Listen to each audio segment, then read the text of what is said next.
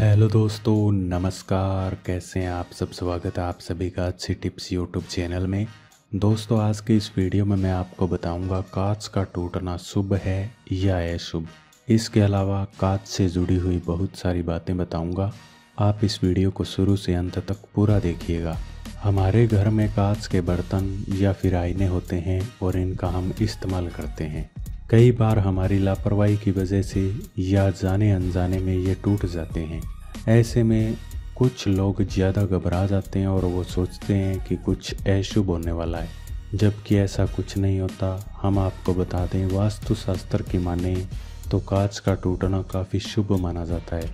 अगर आपके घर में कांच टूटता है तो इसका मतलब है कि कुछ अशुभ होने वाला था, जिसे कांच ने टूटकर होने से रोक दिया। इसका साफ़ मतलब होता है कि कुछ अशुभ होने वाला था, जो कांच के टूटने की वजह से टल गया है। अब आपको घबराने की आवश्यकता नहीं है। आप इस बात का ध्यान रखें कि जो टूटा हुआ कांच है, या जो बर्तन है, या शीशा है, जो भी है, उसको आप घर में ना रखें, उसे तुरंत घर से बाहर फेंक दें। अगर आप इसे घर में रखेंगे तो घर में नकारात्मक ऊर्जा फैलती है, जिससे आपके कार्यों में बाधा आती है। इसीलिए आप उसे जल्दी से जल्दी घर से बाहर निकाल दें। इसके अलावा अगर आपके कोई खिड़की में या दरवाजे में कांच लगा हुआ है और उसमें क्रैक आ गई है, यानी दरार आई हुई है, यानी टूटा हुआ है तो आप उसे जल्दी से जल्दी ठीक करवा लें। लंबे समय तक रखा हुआ ऐसा कांच अशुभ होता है और यह कोई विवाद का कारण बन सकता है। घर के सदस्य बीमार हो सकते हैं, इसीलिए आप इस गलती को भूलकर भी ना करें।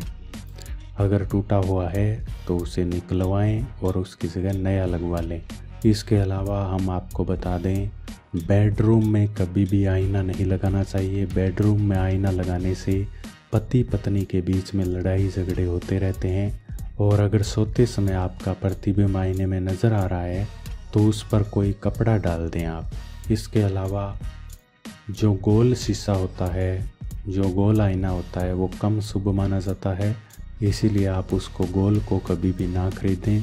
इसके अलावा वास्तु के मुताबिक घर में आईने लगाने के लिए उत्तर और पूर्व की दिशा हमेशा शुभ मानी जाती है।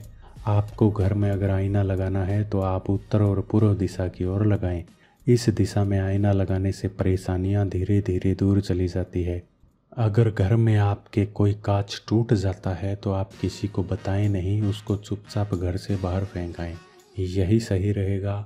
ऐसा करने से घर में नकारात्मक ऊर्जा नहीं आएगी। आज के लिए बस इतना ही। अगर वीडियो पसंद आए तो लाइक करें और चैनल को सब्सक्राइब ज़रूर कर लें। धन्यवाद।